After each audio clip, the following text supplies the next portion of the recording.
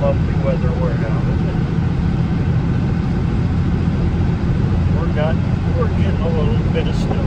Keyword is a little. Um, I'm taking my Honda in to the shop to get dyno tuned tomorrow. So obviously I'll have to wait for this stuff to melt off first. It's supposed to a high of 43 tomorrow, so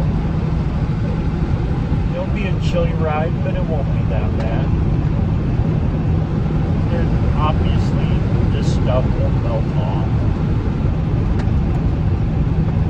But I just wanted to make a short little video. And I've been trying to make a video and I can't get it to work. So here I am. Hopefully this one will work. One of the reasons one of them didn't work is it looks like my iPad is about to die.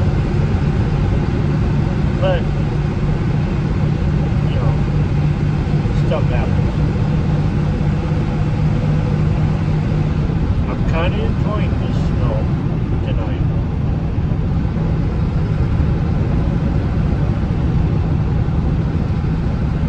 And I will post after my bike is dyno and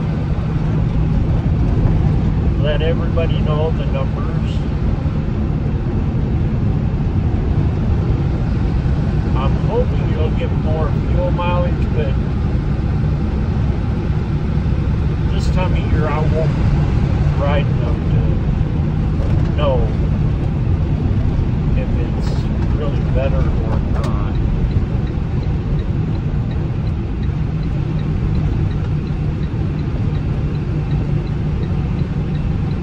But I will see the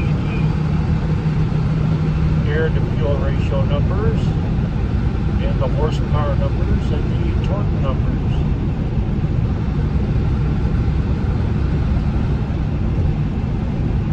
So I'll let I'll bring this to an end.